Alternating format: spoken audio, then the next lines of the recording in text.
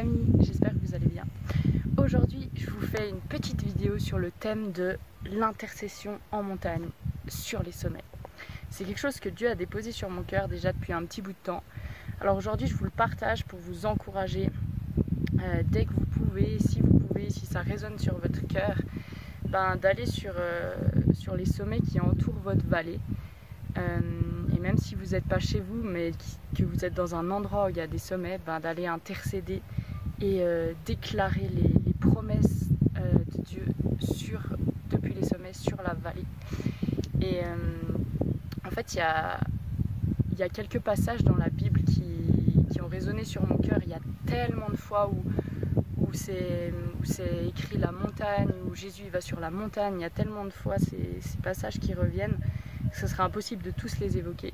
Mais il y en a, quelques-uns qui, résonnent, notamment le, premier, celui où Dieu conclut l'alliance avec la nation d'Israël.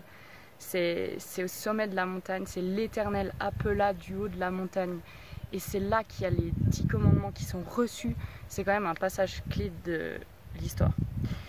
Et euh, il y a aussi euh, dans Luc 6 un passage qui m'a interpellée où en fait euh, Jésus il se retire et il va prier sur les sommets, il va prier sur la montagne toute la nuit euh, et c'est le lendemain matin qu'il choisit parmi ses disciples les douze apôtres. Et c'est quand même... ça m'interpelle parce que c'est la veille d'une décision importante qui se retire. C'est comme cultiver, chérir ce lieu secret. Ben, il se retire sur la montagne et puis, euh, et puis il prie pour prendre ses décisions, pour euh, être à l'écoute de ce que Dieu a à lui dire. Je trouve ça hyper précieux. Et puis euh, il y a aussi une prophétie qui est donnée dans Ésaïe 2, verset 2, qui est Il arrivera dans l'avenir que la montagne de la maison de l'Éternel sera fondée au sommet des montagnes. Et ouais, le règne à venir sur la montagne, les amis. C'est vraiment quelque chose euh, ouais, qui résonne en moi. Et c'est comme, vous savez, c'est comme les glaciers. C'est comme l'eau des glaciers, elle coule sommet de la montagne juste dans la vallée. Et ben là, quand on intercède sur les sommets, et ben l'amour du Père, il coule du sommet sur la vallée. Et toutes ces promesses, elles coulent sur la vallée. C'est trop cool. je vous donne un petit témoignage de ce qui m'est arrivé.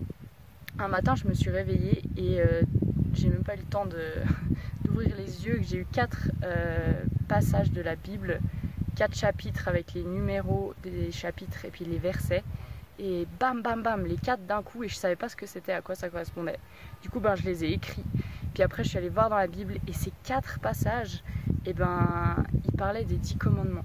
Alors du coup, ben, je demandais à Dieu, je disais, euh, qu'est-ce que tu attends de moi avec, euh, avec ces quatre passages-là?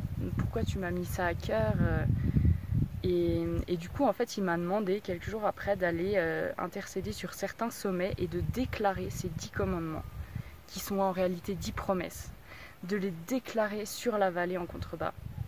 Et du coup, c'était extraordinaire parce que je voyais les chaînes à l'horizontale de la vallée qui la retenaient un peu prisonnière. J'ai vu certaines chaînes tomber et j'entends les chaînes tomber.